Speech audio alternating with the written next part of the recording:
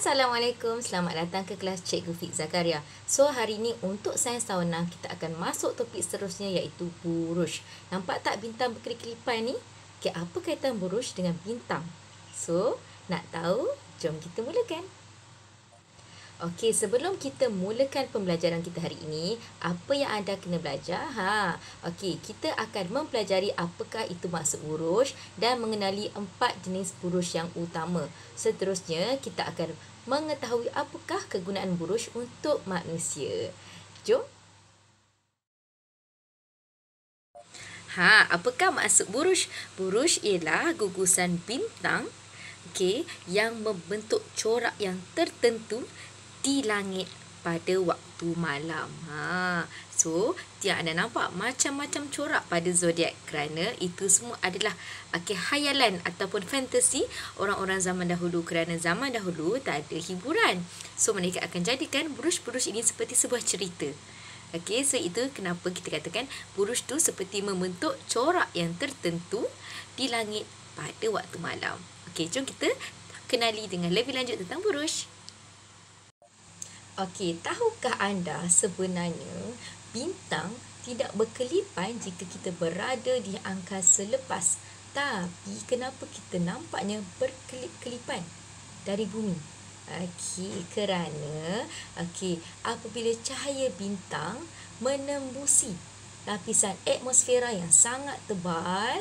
Okey, atmosfera tu macam lapisan udara lah yang sangat tebal yang meliputi bumi kita ni, okey akan berlakunya pembiasan yang berulang-ulang. Okey, maksudnya okey, kita dah tahu cahaya bergerak lurus tapi apabila medium, okey, cahaya bergerak ke dari medium yang berbeza akan terjadilah pembiasan cahaya. So akan berlaku pembiasan cahaya yang berulang-ulang. Cahaya terpesong berulang-ulang. Okay, sepanjang lintasan cahaya bintang tu sampai ke bumi maka kita pun nampak seperti cahaya tersebut berkelip-kelipan apabila sampai ke mata kita.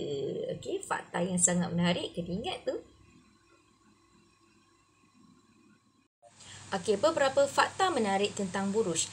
Yang pertama, okey, Kesatuan Astronomi Antarabangsa telah menjumpai 88 buruj dan mungkin lebih uh, tapi yang anda hanya perlu tahu hanyalah empat buruj seterusnya jika ingin melihat buruj dengan lebih jelas. Kita boleh menggunakan teleskop robotik tapi mahal lah kan. Uh, mungkin di balai cerap okey mufti mungkin ada.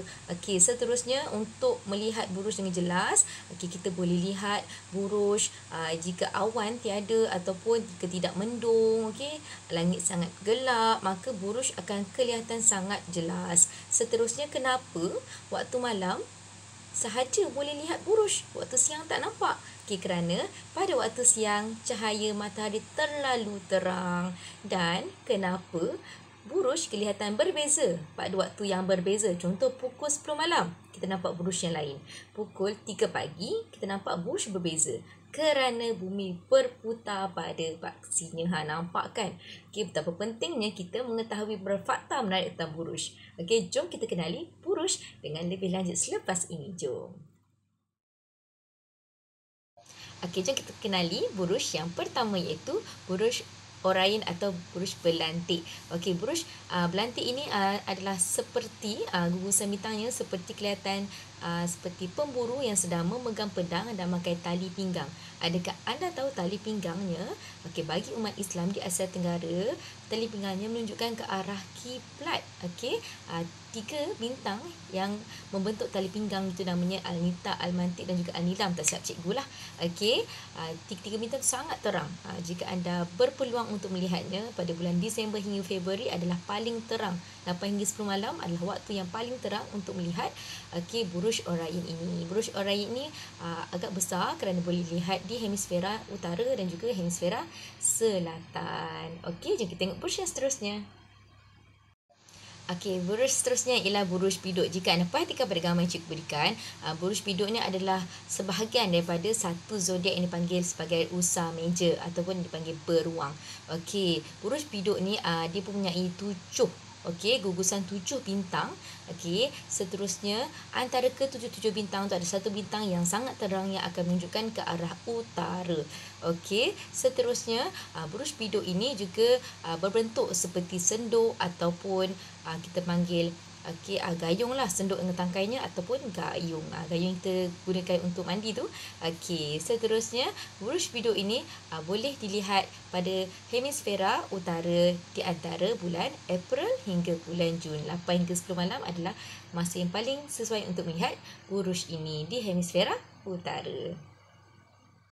Okey, buruj yang seterusnya ialah buruj pari. Okey ataupun dikenali sebagai Southern Cross. Okey, seterusnya buruj ini berbentuk uh, seperti layang-layang dan terdiri daripada empat gugusan bintang. Okey, saiznya paling kecil berbanding buruj yang lain. Okey, buruj ini uh, boleh kelihatan pada hemisfera selatan pada bulan April hingga Jun. Okey, seterusnya buruj pari ini jika anda perhatikan uh, di keempat-empat bintang tu ada satu bintang yang paling terang Okey, bintang ini akan menunjukkan arah selatan. Okey, so uh, kita dah tahu tentang buruj pari. Okey, jom kita tengok buruj yang seterusnya. Okey, buruj yang keempat. Okey, ialah buruj Scorpio. Jika anda lihat pada gambar yang cikgu berikan ini, ah, bentuknya seperti kala jengking. Okey, muncul di hemisfera selatan. Okey, pada bulan Jun hingga Ogos. Okey, pada pukul 8 hingga 10 malam yang paling terang. Okey, seterusnya bentuknya seperti kala jengking dan tidak digunakan sebagai pemanduan arah. Okay, saiznya agak besar berbanding buruj yang lain. Ha, nak tahu apakah kegunaan buruj Scorpio yang lain? Okey, jom kita tengok seterusnya. Ha, apakah kegunaan buruj? Okey, jom kita belajar sama-sama. Okey, kegunaan buruj yang pertama. Okey, pada zaman dahulu sebelum terciptanya kompas. Okey, kompas yang kita gunakan untuk menunjukkan arah utara, okey, barat, timur, selatan. Orang zaman dahulu tak ada lagi. Okey, so mereka akan menggunakan buruj untuk menunjukkan arah dalam pelayaran dan juga perjalanan mereka. Okey, antara buruj yang mereka sering okey menjadikan penunjuk arah adalah uh, buruj biduk. Okey, dua bintang yang terang tu akan menunjukkan ke arah utara.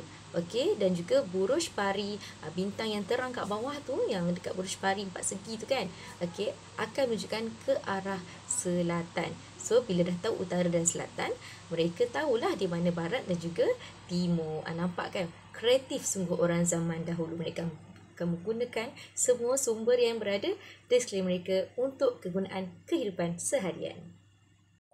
Okey, kegunaan buruj yang kedua. Okey, pada zaman dahulu, kalender tidak wujud. Kalender tu apa? Okey, kalender yang ada tarikh, yang ada bulan, yang anda boleh lihat tiap-tiap hari tu kan. Okey, dalam phone pun ada kalender juga. Okey, ah, so orang zaman dahulu tak ada kalender. Mereka tak tahu sekarang bulan berapa, hari apa, tahun bila. So, mereka akan menggunakan uh, buruj-buruj ni untuk menunjukkan musim terutamanya lah okay, kawasan di hemisfera utara. Okay, bumi ni bentuk sfera kan. So, kawasan hemisfera utara uh, seperti kawasan barat lah. Mereka akan menggunakan petunjuk buruj ni menunjukkan musim. Okay, seperti contohnya apabila tibanya okay, uh, musim menanam mereka akan rujuk sama ada uh, buruj biduk telah muncul atau tidak. Okey, buruj biduk akan muncul pada bulan April hingga Jun. So pada waktu itu mereka akan mula menanam di kawasan hemisfera utara. Okey, dan tidak lama kemudian uh, mereka pun tibalah masa untuk menuai. Mereka akan melihat di langit adakah buruj Scorpio sudah muncul. Kerana buruj Scorpio akan muncul pada bulan Jun hingga Ogos. So itu adalah masa yang sesuai untuk mereka menuai. Okey, ah, so nampak kan betapa pentingnya peranan buruj bagi orang-orang zaman dahulu. Okey, jom kita buat projek mudah iaitu projek terburuj. Sangat mudah. Anda boleh rujuk muka surat 183. Okey, apa yang anda perlukan hanyalah tip cardboard. Okey, seterusnya gelang getah. Okey, pen dan juga kertas berwarna serta gunting. Okey, cikgu dah gunting siap-siap. So anda boleh gunting siap-siap nanti. Okey, bentuk pak segi tepat ikut anda lah. Yang penting boleh muat di kawasan hujung uh, tube cardboard ni nanti. Okey, first kali kita kena lukis buruj. Cikgu rasa buruj yang paling mudah adalah buruj biduk. Ada tujuh bintang. Okey, so kita buat bulatan yang hampir lebih kurang lah. Okey, so anda tekap kat sini. Anda buat bulatan. Okey. Lipat sama-sama dengan cikgu kalau dah ada. Okey, dah siap bulatan. Okey, seterusnya kita buat uh, buruj. Okey, buruj biduk ada tujuh bintang.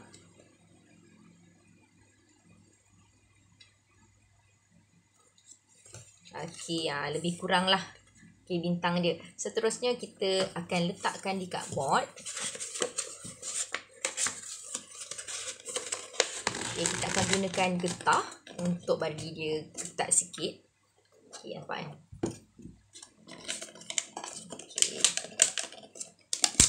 Boleh minta tolong mak ayah lah kalau susah kan. Okay, seterusnya Okey, dah siap. So, dia minta gunakan jarum tapi kita gunakan sahaja hujung mata pen ni tajam juga. Okey, kita tebuk lubang pada burush ini. Ah, dah jadi nampak. Okey, so kita buat lagi juga. Ini kurang bentuk dia. Okey, hati-hati jangan besar sangat. Okey, dah siap dah projektor burush. So, macam mana nak jadikan projektor? Okey, so nanti anda boleh tutup lampu bilik anda dan anda boleh suluh uh, lampu suluh di dalam. Okey, tiup kat board ni dan akan lihat apa yang akan berlaku. Okey, nanti share kat cikgu di bahagian komen eh. Apa yang anda nampak. Boleh? Okey, selamat mencuba. Okey, kita ulang kaji sedikit apa yang kita dah belajar pada hari ini. Okey, hari ini anda telah mempelajari maksud burush iaitu gugusan bintang yang kelihatan membentuk corak di langit pada waktu malam. Okey, kemudian ada empat burush yang utama. Okey, yang anda wajib tahu. Yang pertama, burush belantik, burush pari, okey, uh, burush biduk dan juga burush scorpio. Okey, keempat-empat ni ada fungsi yang tersendiri okey?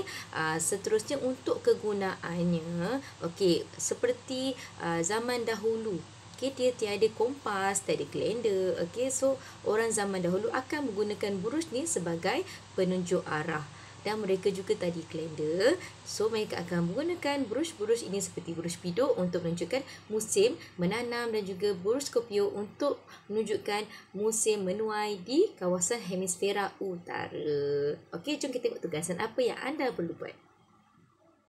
Okey, dah sampai ke bahagian tugasan. Untuk tugasan, cikgu memang akan gunakan buku mesra digital anda. Okey, sila buat muka surat 107 dan 108. Jika tiada, jangan risau. Okey, anda boleh buat uh, buku teks surat 187 nombor 6 sahaja. Okey, salin dalam buku aktiviti sains. Okey, selamat menjawab soalan. Okey, sekian sahaja kelas kita pada hari ini. Okey, terima kasih kerana sudi menghadiri kelas bersama cikgu. Cikgu harap di akhir kelas ini anda telah mempelajari sesuatu yang baru. So, hari ini kita telah mempelajari apakah itu burush, okey, uh, beberapa jenis burush yang utama, okey, dan kegunaannya kepada manusia.